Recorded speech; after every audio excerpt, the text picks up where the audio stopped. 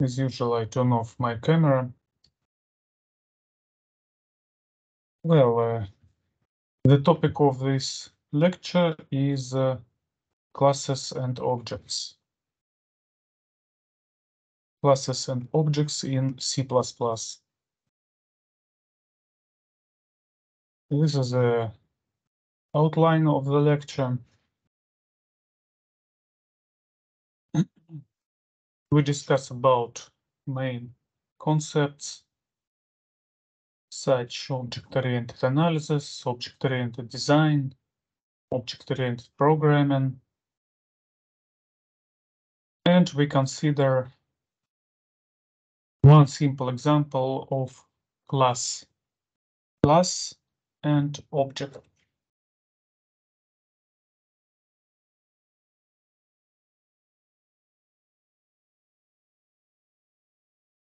During all the semester until now, we write uh, programs that consists of functions. This approach to divide the large pro large problem into smaller parts, smaller sub-problems, and implement uh, and solve these problems sub-problems as a separate parts is called modular decomposition. And this approach for program development is good for small and medium programs. Object-oriented decomposition, decomposition of the task to be solved into different. Object, different classes. Is oriented for development of large programs, large and very large. And object-oriented decomposition allows to develop, debug, test and support very large, very complex programs in efficient way. Of course, in our uh, during our lessons, we consider some simple examples, simple examples of classes and objects. On this slide, you may see the main concepts of object-oriented programming. Here I just uh, mention this main concept. I don't want to go into details because some concepts we just skip, but another concept concepts we consider later during our lessons in May. These concepts are abstraction, encapsulation, modularity, hierarchy, and polymorphism. What is it? We discuss later. Uh, especially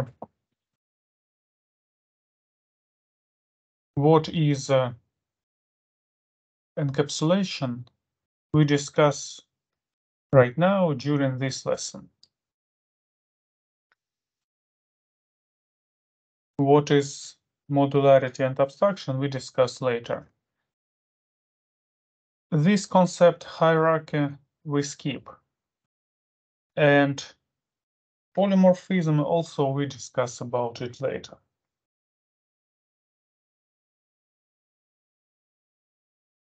When we speak when we speak about object-oriented programming, uh, there are three main approaches.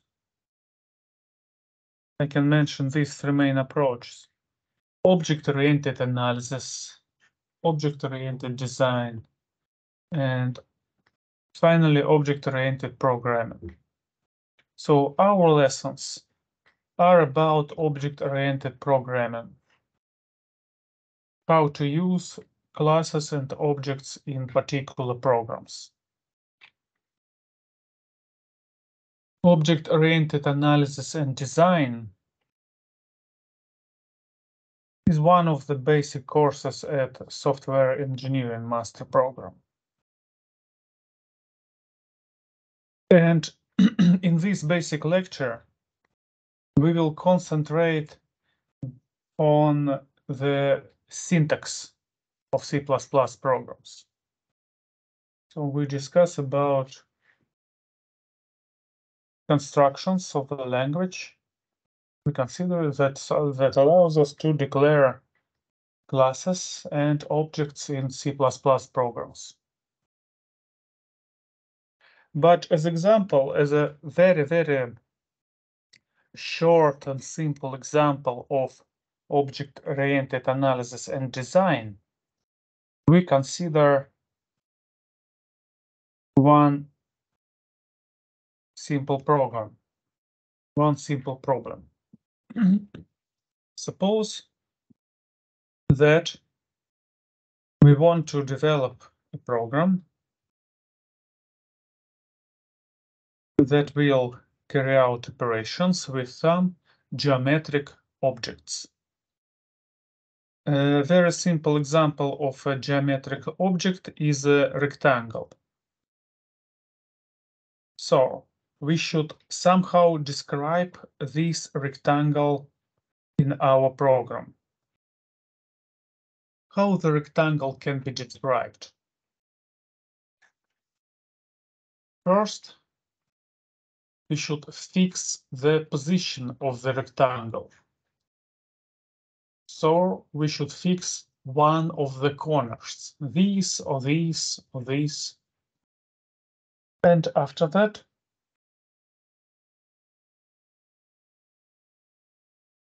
we can make a supposition that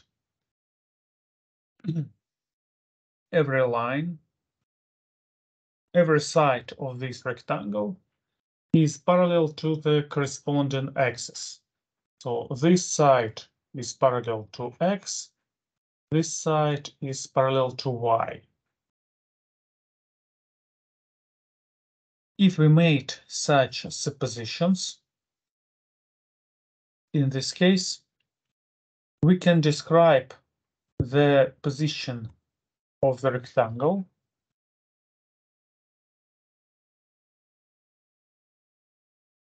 using the three, sorry, four values. First two values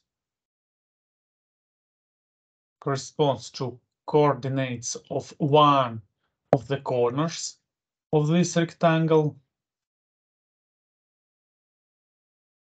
For example, this one or this one, but one corner, coordinates of one corner. And two values that corresponds to the length of the corresponding side, this and this.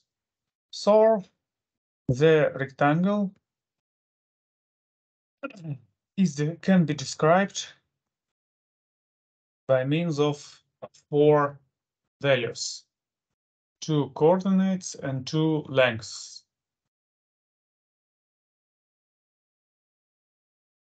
So this is a simple example of the object-oriented analysis and, uh, and data engineering.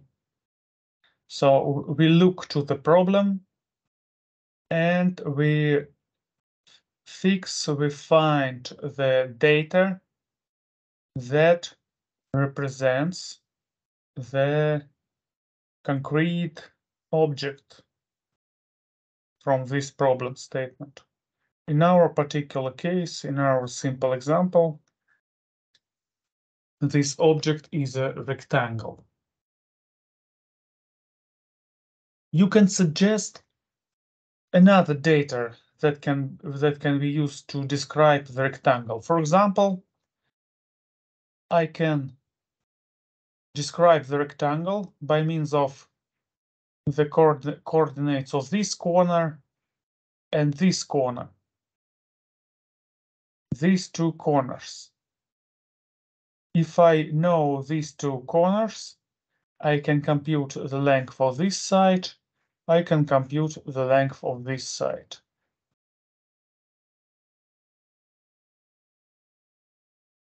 Or you can suggest any other uh, forms how we can represent the rectangle. What data, what data we need to use to represent the rectangle. Well, the next question that we should answer is uh, what can we do with the rectangle? Suppose that our program must show this rectangle on the screen,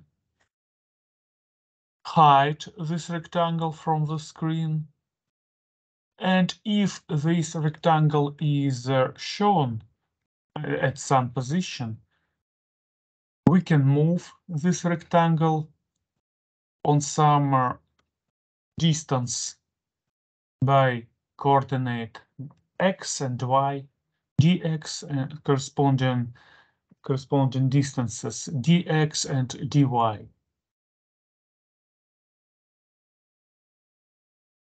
These actions correspond to their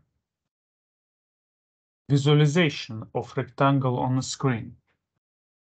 Another portion of actions can be uh, related with the geometric properties of this rectangle. For example, we can compute the perimeter of this rectangle. We can compute the area of the rectangle and so on. What is it? It is a very basic example of object-oriented design. We we consider the object, the rectangle. We fix the data that describes this rectangle, and we list the actions that we can do with the rectangle. So now this rectangle can be considered as object with this data and these list of actions that we can do with the rectangle.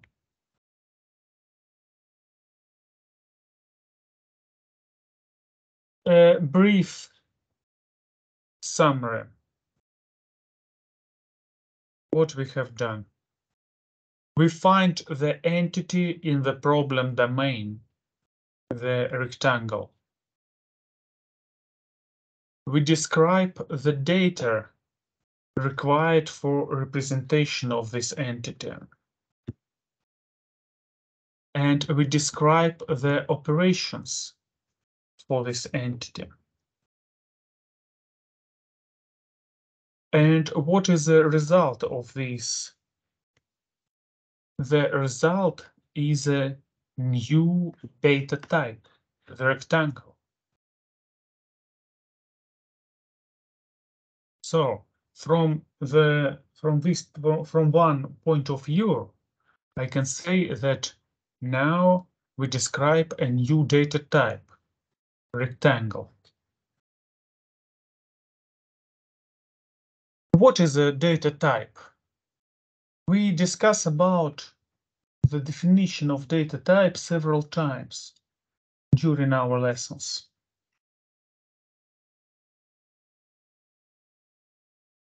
How we can def define a data type?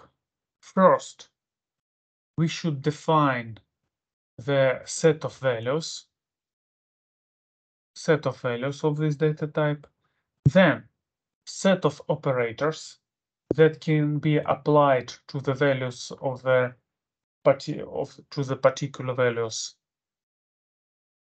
And the rule of storing the values of this data type in computer memory. For example, the size of the memory, code and decoding rules, and so on. If we define all of these, uh, I can say that we define a new data type. For example, the type unsigned char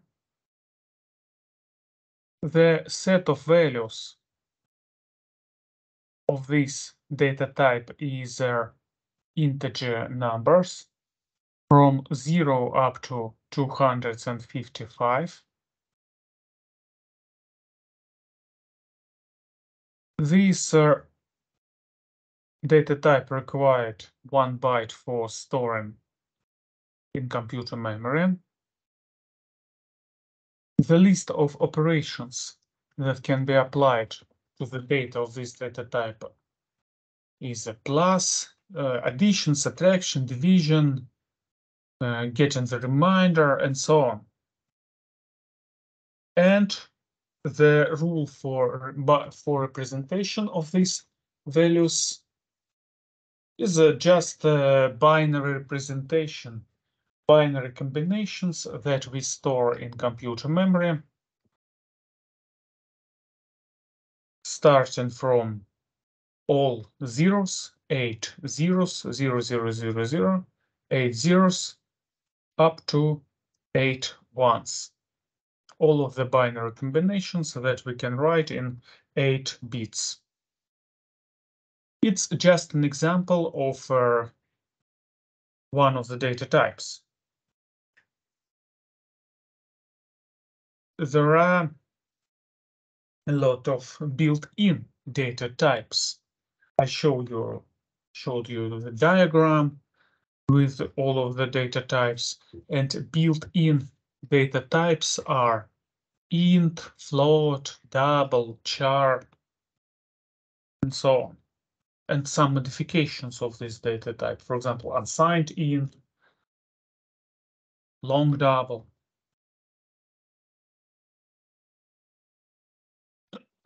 there are a list of uh, so-called user-defined data types.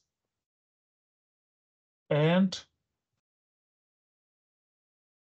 also we consider some of these user-defined data types. The examples of user-defined data types are arrays, enumerations, structures, so all of these data types are user-defined data types. But if we are discuss, if we consider what is abstract data type, abstract data type is defined by two sets, set of values and set of operations. If we define these two sets, the values and the operations that we, that we can apply to these values, I can say that we define a data type.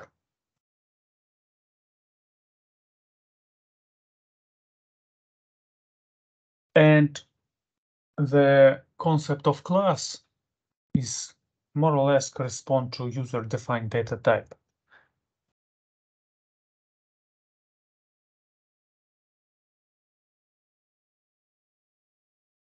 So again, abstract data type is a set of values and set of operations.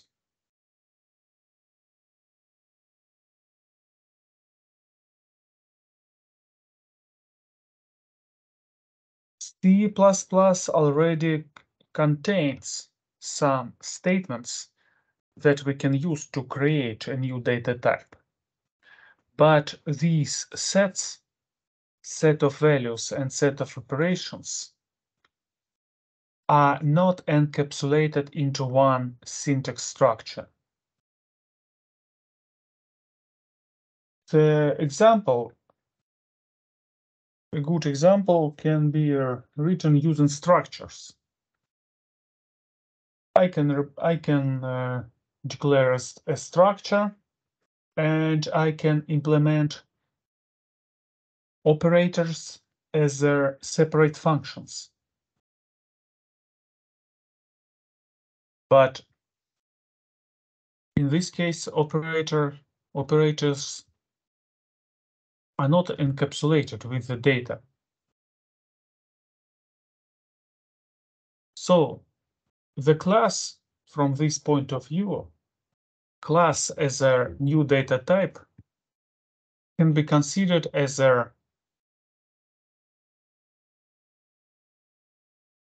uh, such syntactic structure, such uh, syntactic construction in the language that gather data and operator and operations with this data.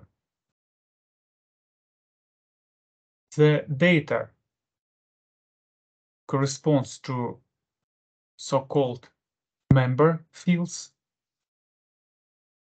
and operations with this data corresponds to member functions. Declaration of uh, member fields is very similar to variable declarations. And declaration of member function functions is very similar to functions declaration. The general scheme of uh, general form of declaration of the class is presented here on this slide. This is the general form of class declaration. First, I should write the keyword class. So it's underlined here, but of course, it, let me just delete. Here. The keyword class.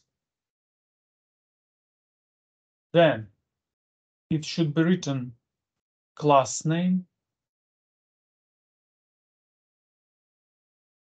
Then I can write so-called private members of this function. Private is a keyword. It can be written or not, because by default, all of the members of this class are considered as a private members. Private members correspond to the hidden part of the class. And another obligatory part is a public section. In public section, I can also declare some fields, some functions,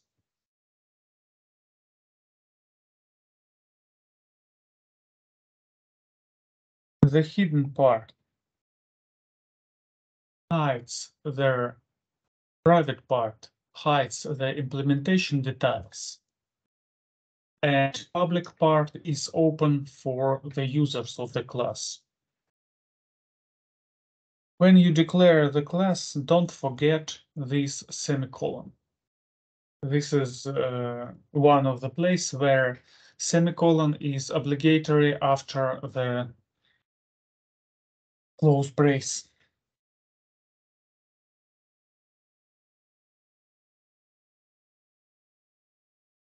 Well, in our example, it's again, it, it's not a working example, just as example of how we can declare some class.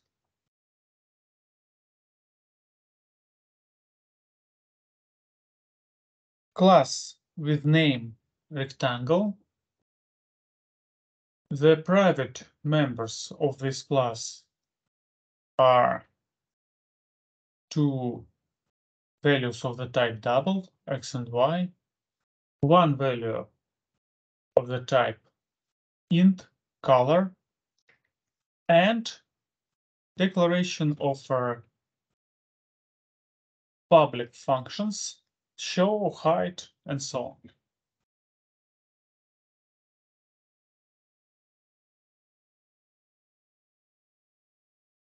Again, let me repeat that this part is hidden, that is not accessible from other program, and this part is public. Later, I will, I will show you the example in Visual Studio.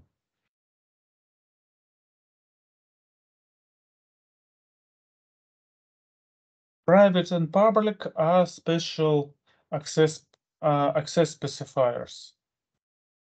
All information in private section is accessible only inside the class and its member functions. All information in public section is accessible everywhere.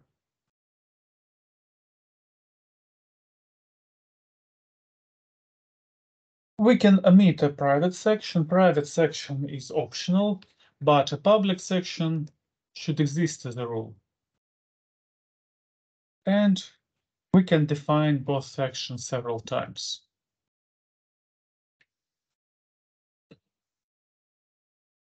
Member fields can be of every type,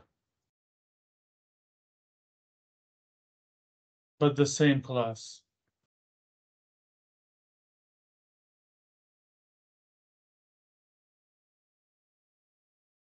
Member fields can be declared as constants. It can be static.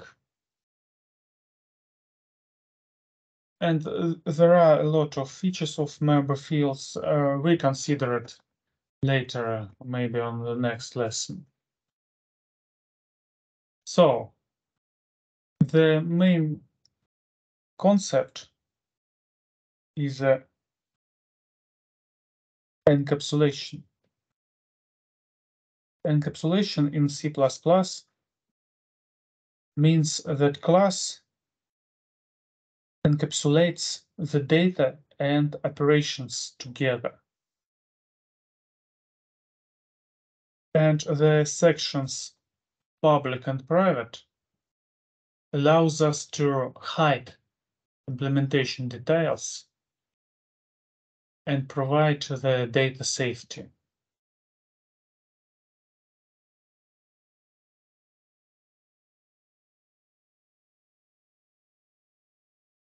Uh, okay, I think we can uh, consider this slide, slides, two slides a little bit later.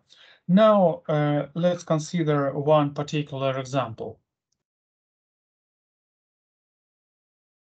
Let's consider the class that described, describes the new data type, complex number.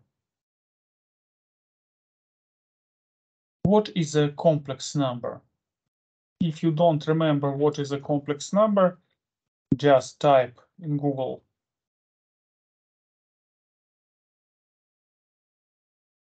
complex number, the first link to the Wikipedia, and you can find the detailed description what is a complex number.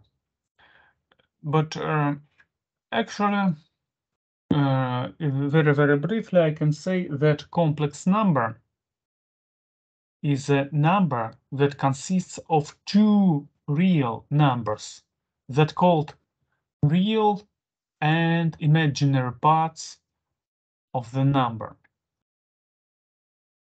And Usually a complex number is represented in the form x plus iy, where i is uh, just uh, notation this, that is used for imaginary numbers, imaginary part, A is a real part, B is imaginary part. So for, from the formal point of view, a complex number, complex number is a number that consists of two numbers, pair of numbers, real and imaginary part. So to work with such number, we should use their real and imaginary parts. We should declare this data in the class and we can declare uh, functions that helps us to work with this data. Functions that allows to get access to data to real and imaginary part, some arithmetic functions, print, output functions, and so on. So some example of declaration is written here on this slide, but I think it's better to consider it in Visual Studio. Well, first, as I told you, the complex number consists of the pair of two numbers, real and imaginary part. And the first idea is to declare a struct, a structure, struct complex that includes double real and double im two double numbers for real and imaginary parts of the complex number. But this structure, this structure doesn't contain any any operations. So operations with such number complex, if we declare it as a structure, must be realized as, as separate functions. But okay, suppose that I declare a struct complex. Now I can use it in main problem so I can declare a complex number A and I can get access to the real and imaginary parts of this number declared here using point. We consider it when we discuss about structures. A, a point im equals to, for example, a point real equals 2. So I assign 2 to the real part and 1 to the imaginary part of the complex number A. This program is correct. If I compile this program, I will see succeeded the message that the program is correct.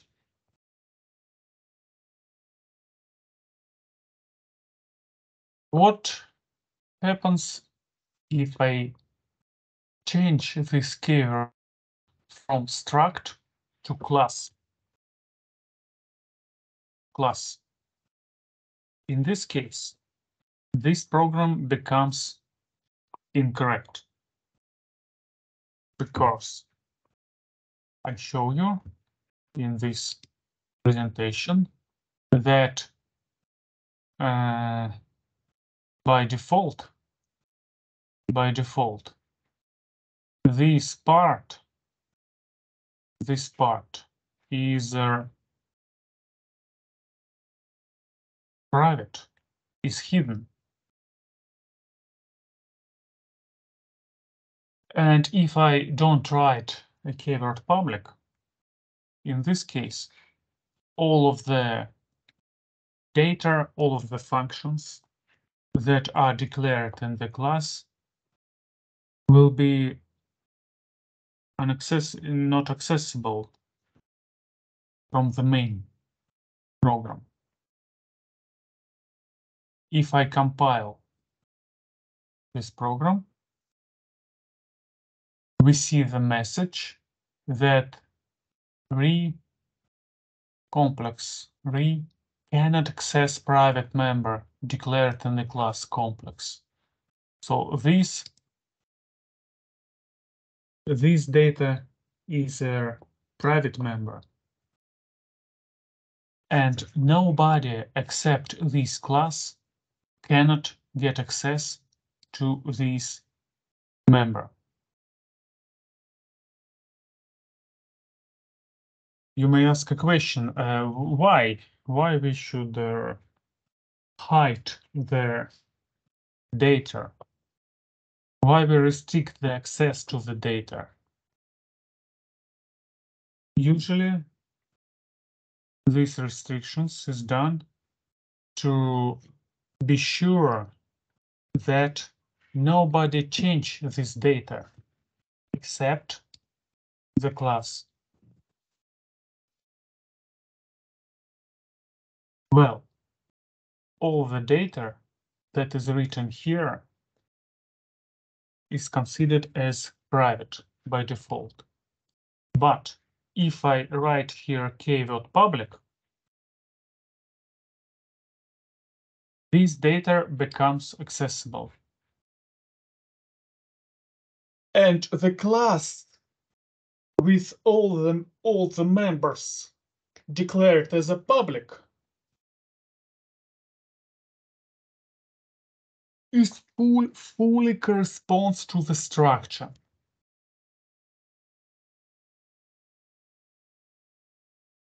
Structure has all the members public. And class by default has all the members private.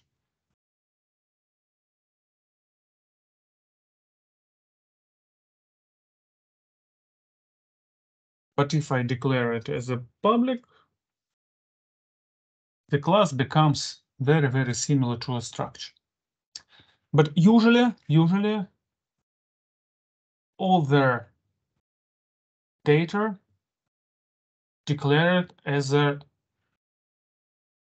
private. Let me write here this keyword. Private members. And the question is how to get access to these members.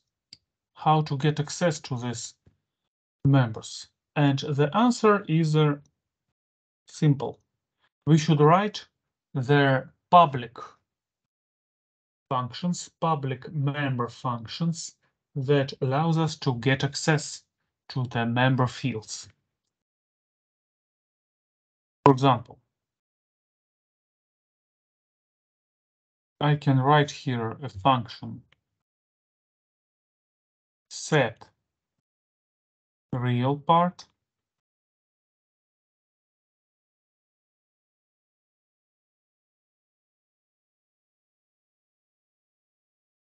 For for the first as a first example I write implementation here. It's not very good but I write it here.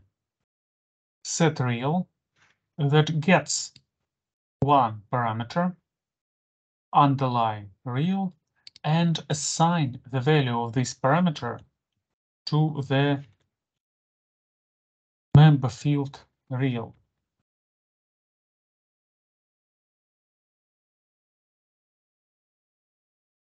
As far as set re is a member function, the member function get access to the private data members. And it can modify the member field re. And the same I can write for the for the member field in. For simplicity, I write because these functions are very short. I write it in one line. set im double im and im equals to underline im. Well, what I what I done? I declare two member functions that get one parameter and assign this parameter to their hidden member field. And after that, in the function main, I can call these member field, member functions. Look, Visual Studio hides hides their real and imaginary, real and im, because these members are private. These members are private.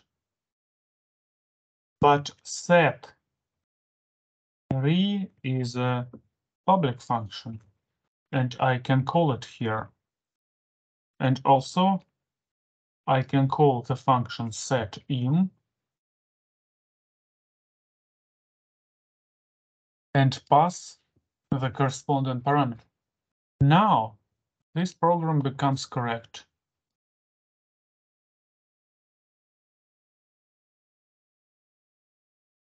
The value 2 will be assigned to the member field re of the object A. The value 1 will be assigned to the member field im of the object A. If I want to declare another object, for example, B,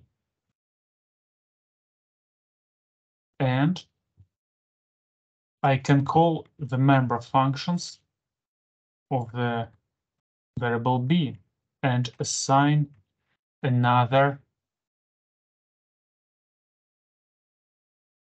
another values for real and imaginary part of the object B. Okay.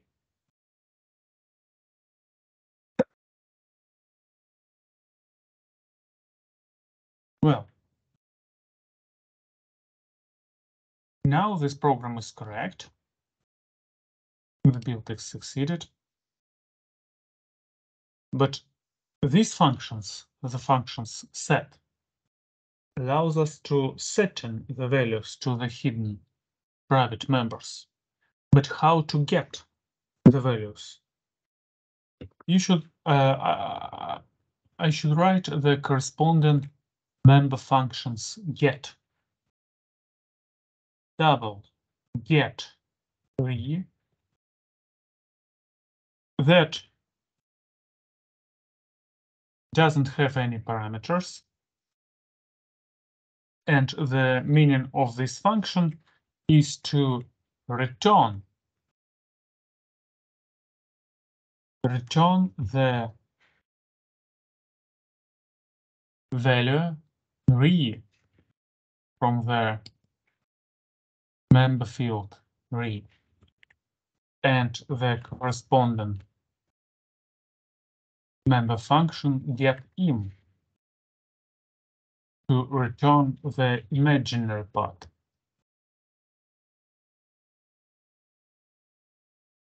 So these two member functions are public also, and I can call it from the main function to get access to the re and im. Let's do it. For example, I can output the value re to the screen. Get re and after that im b point get im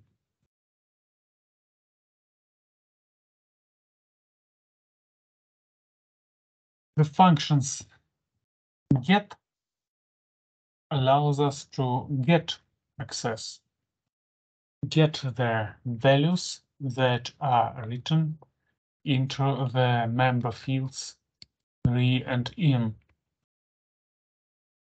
Let's check this simple program. What we will see on the screen, we will see that re equals 2, im equals 6.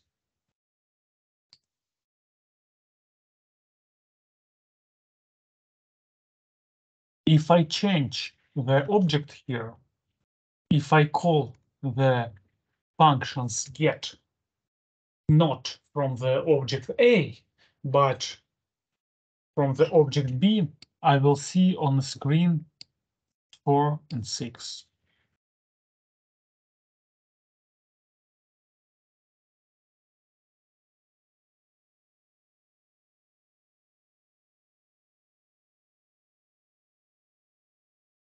Any questions about this example?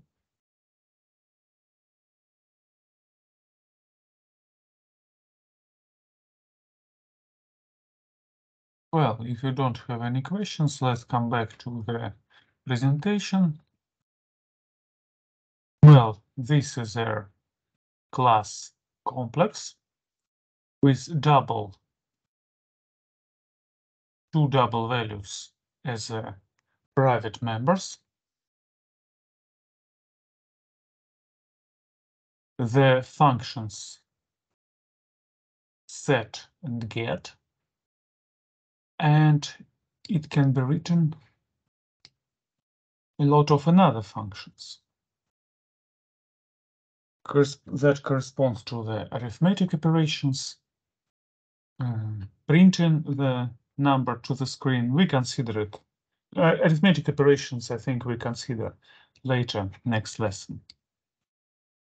So again, the main features. Data is hidden. The data is private.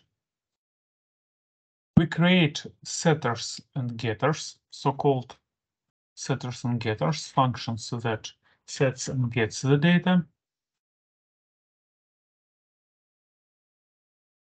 And implementation of setters and getters can be done inside the class declaration. Well, I think arithmetic operation we arithmetic operations we consider on the next lesson. But uh, let's look to the function print. Suppose that I want to print I want to print the numbers to the screen like this. And suppose that I want to organize it in the form of a special function print. Here, I can declare a prototype of the function print but the body of function can be written outside of the class declaration. What I should do to do what I should do. I should write data type void. Then the name of the class complex. Then four points and the name of the class, oh sorry, name of the function print.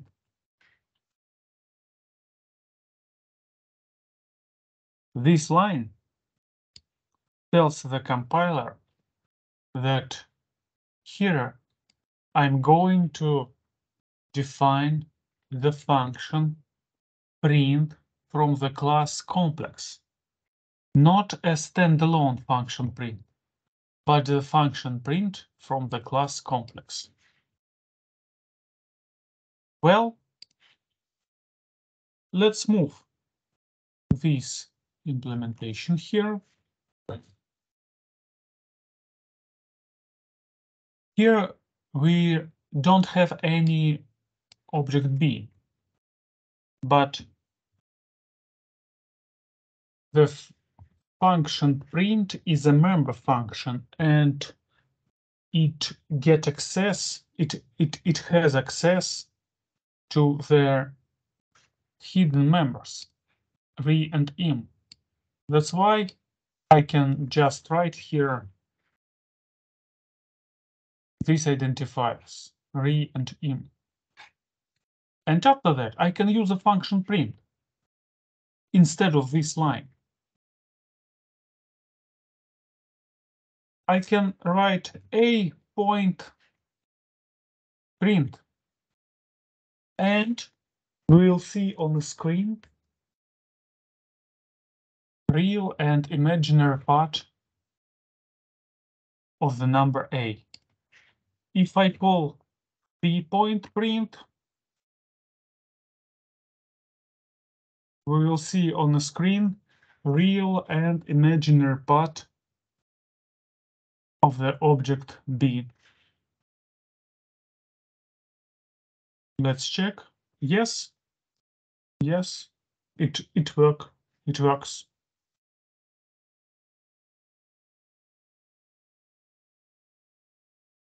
But if I try to output the object A using cout, it will be a mistake. Because compiler doesn't know how to output the user defined data type, how to how to output the particular variable a of the user defined data type complex.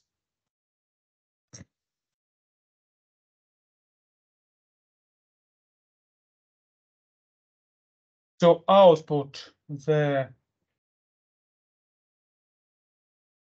particular objects to the screen. I should use the function print, the method print that I declare here, declare in the class. Well, and also it's the same can be, I can say for the, for example, addition. If I want to add a plus b, compiler outputs me a mistake because compiler doesn't know how to add two variables of the user-defined data type complex. But if I want just to assign two numbers, it will be okay because our class is simple and compiler just assign these two double values from the class A into the class C. And after this assignment, if I call the function print of the class of the object C, I will see on the screen the same values as for the object A. Two and one. Yeah. The same values. Okay, let's come back to the presentation. So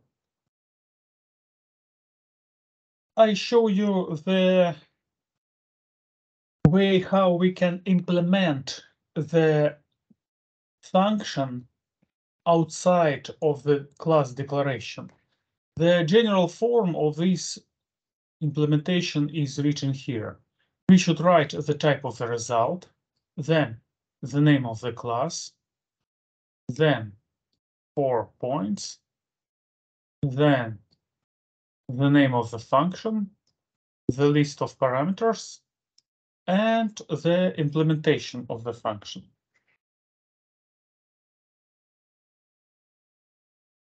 In the class uh, uh, for, for the function print, the type of the result is void and the list of parameters is empty.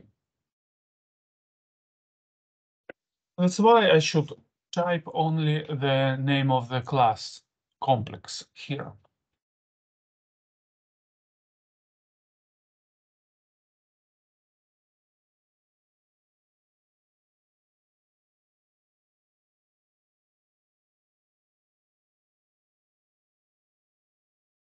Well, I think le- let's implement one one form of the addition of their complex numbers. And after that, we finish this lesson.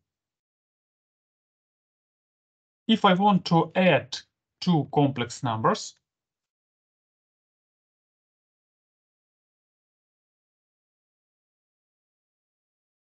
I should write the following function. The function add that gets the parameter and returns the result.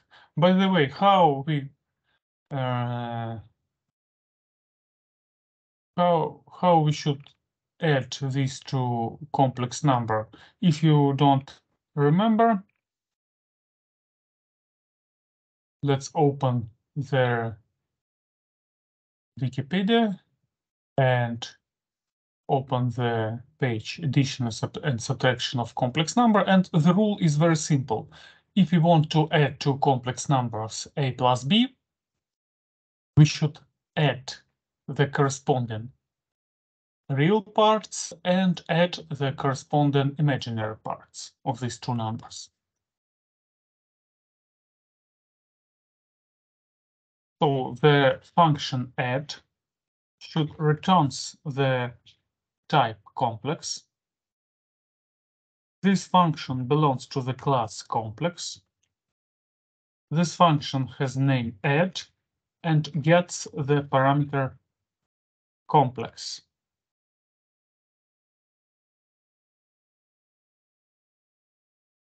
Here, I should declare the result and return this result. And between declaration and returning, I should uh, write uh, write uh, values into the res im and res real. Res point re equals to re plus a point re and res point. Im equals to. Im plus a point im.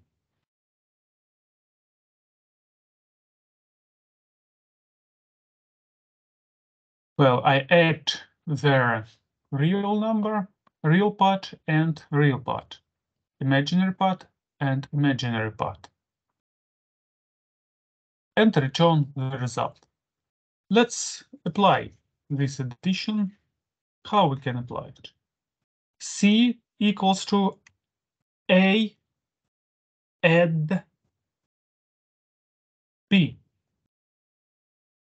So this notation more or less corresponds to the line C equals to A plus B. The value of the C will be result of the addition of a plus b. And we should see as a result 6 and 7. Let's check. Yes, the last number corresponds to the result, the real number c, sorry, uh, complex number c with real part 6 and imaginary part 7.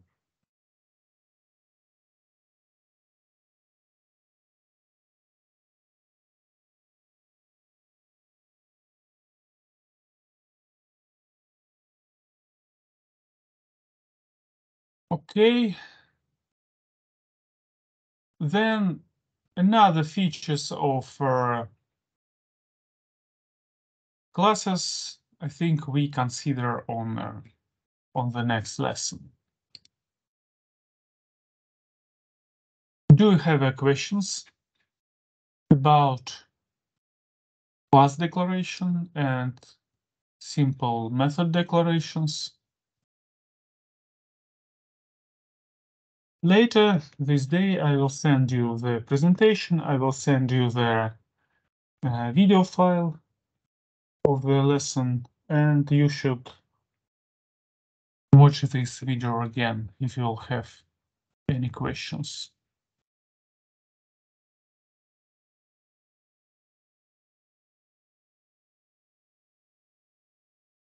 Well, if you don't have any questions, let me stop recording.